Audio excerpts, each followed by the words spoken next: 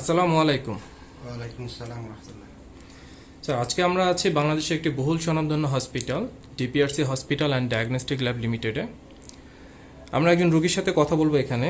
প্রথমে জানতে চাচ্ছি স্যার আপনার নাম? আব্দুল করিম। আব্দুল করিম। স্যার আপনি কোথায় থাকেন? আমি সৌদি আরবে থাকি কুমিল্লা ডিস্ট্রিক্ট আমার বাড়ি। বাংলাদেশের কুমিল্লা আপনার দেশের বাড়ি? আচ্ছা। স্যার আপনি ডিপিআরসি হাসপাতালে কি সমস্যা নিয়ে এসেছিলেন এবং এই সমস্যা আপনি ঠিক কতদিন যাবৎ ভুগছিলেন? আমি সমস্যাটা দশ এগারো বছর ধরে ভুগতেছি। আমার গাড়ের সমস্যা গাড়ের ব্যথা।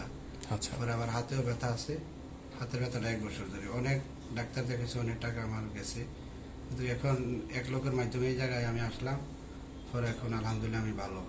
মানে। শুরুটা কীভাবে হয়েছিল? মানে শুরুটা আমি বৈশা ডিউটি করি বসা থেকে এই ব্যথাটা চলতেছে।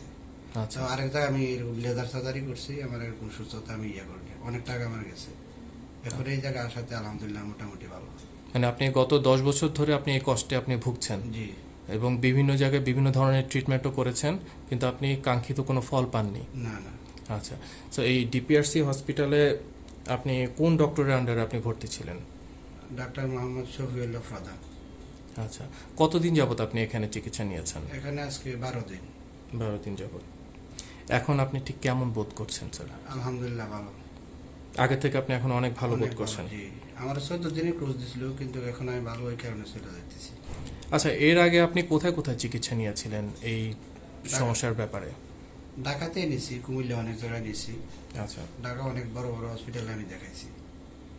আচ্ছা জানতে চাচ্ছি এই ডিপিআরসি হাসপাতালের ঠিকানাটা আপনি কোথায় পেয়েছিলেন? ডিপিআরসি হসপিটালের ঠিকানা আমি ফেসবুকে পাইছিলাম ফেসবুকের মাধ্যমে আপনি প্রথম জানতে পারেন। জি। আচ্ছা স্যার আপনি যখন এই ডিপিআরসি হসপিটালে চিকিৎসাধীন অবস্থায় ছিলেন এখানকার যারা ডক্টর ছিলেন নার্স ম্যানেজমেন্ট এবং অন্যান্য যে স্টাফরা ছিল তাদের ব্যবহার সম্পর্কে যদি একটু বলেন। তাদের ব্যবহার মাসাল্লাহ খুবই ভালো। অনেক ভালো ব্যবহার। আচ্ছা। স্যার এই ডিপিআরসি হসপিটালের পরিবেশ সম্পর্কে যদি একটু জানতে চাই আপনার কাছে। না পরিবেশও খুব আলহামদুলিল্লাহ খুবই ভালো। আচ্ছা। মানে অন্যান্য হসপিটালের তুলনায় আপনার ধারণা যে অনেক-। ভালো। অবস্থায় আছে। স্যার আপনার যে ধরনের সমস্যা আছে এই ধরনের সমস্যা বাংলাদেশে এবং বাংলাদেশের বাইরে এরকম অনেক রোগীর আছে যারা হয়তো সঠিক ডক্টর খুঁজে পান না বা কার কাছে গেলে তাদের উপকার হবে তারা হয়তো বুঝতে পারেন না। সেই সব রোগীদের উদ্দেশ্যে যদি আপনি কিছু বলেন। না যেহেতু আমার এই সমস্যা এই সমস্যা অনেক আছে বাংলাদেশে। আমার আশেপাশে অনেক লোক আছে। তো এই বাতের ব্যথার জন্য মাসাল্লাহ এই জায়গায় খুব বেটার বাকিটা আল্লাহর ইচ্ছা এরকম আর কি।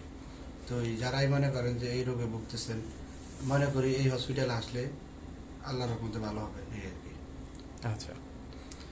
অসংখ্য ধন্যবাদ আপনাকে বিডি টুডেজের পক্ষ থেকে আমাদেরকে আপনার মূল্যবান সময় দিয়ে সহযোগিতা করার জন্য। জি আসসালামু আলাইকুম। ওয়ালাইকুম আসসালাম রহমতুল্লাহ।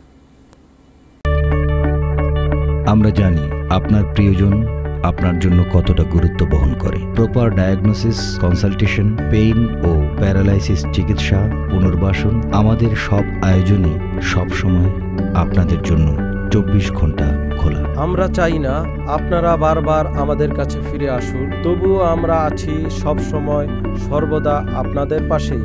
ডিপিআরসি হসপিটাল লিমিটেড আস্থা বিশ্বাস ও নির্ভরতায় অবিচল।